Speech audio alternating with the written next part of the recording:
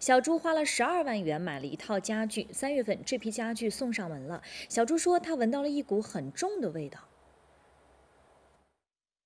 小朱的新房在杭州转塘，面积一百二十九方。去年十月，他在杭州美克美家买了沙发、电视柜、餐桌等十几样家具，总共十二万。今年三月份家具送到了，小朱感觉不太对劲儿。送到的时候，我在房间在全部通风的情况下，我然后在这个屋内待的时间不久，我还会感到这个胸闷和头晕，然后就气味特别重，就是在这边待不长久。因为，但是因为当时家具这个新家家具到了之后，我要打扫一下卫生。小朱说，家具送到后，屋里通风快两个月了，抽屉里也都放了炭包，但还是有股味道。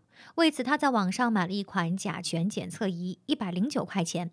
客服表示，准确率有百分之九十五。外包装上写着甲醛的国家标准，每立方米小于零点一毫克是合格的。使用前，仪器需要在空气流通区域空置两百秒。这是这里的一个脚桌，嗯，他进屋了以后，已经就开始跳动了这个数字，然后把这个机器放在这个里面。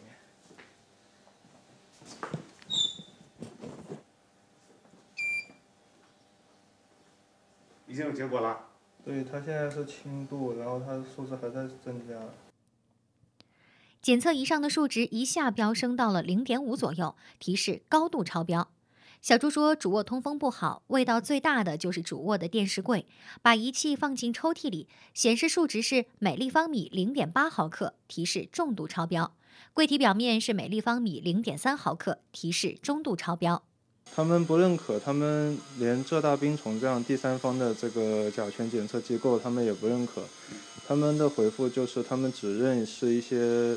质量监督局的一个破坏性实验，但是破坏性实验需要破坏掉家具的这个表面，然后包括这些费用得我们自己承担。家具是在杭州美克美家钱江新城店买的。进店前，小朱再次试了一下这款甲醛测试仪，店门口仪器显示零点零九，安全范围；进入门店大厅显示零点三四，中度超标。小朱随机找了一个茶几抽屉，放进去显示零点四六，中度超标。此事由美克美家客服部的钱经理处理，他人不在店里。这个网红的产品。呃，检测出来是不准的，不能代表这件事我们的家具甲醛超标，它只是一个大环境的甲醛超标。像浙大冰虫，它是属于大公司了，而且它这个检测是要把这个房间密封十二个小时，呃，东西就是十二个小时密封以后，然后再进去检测，检测出来如果说这个值它超了，它也只能说这个是你这个房间大房间是超标了。钱经理表示，家具没有问题。小朱用网购的甲醛检测仪来检测，方法并不科学，最多当做一些参考。另外，小朱的新房是精装修交付的，房间里的地板、墙纸、窗帘等都有甲醛，什么东西超标还不好说。钱经理认为，目前的味道来自木头，所以赠送了除味剂。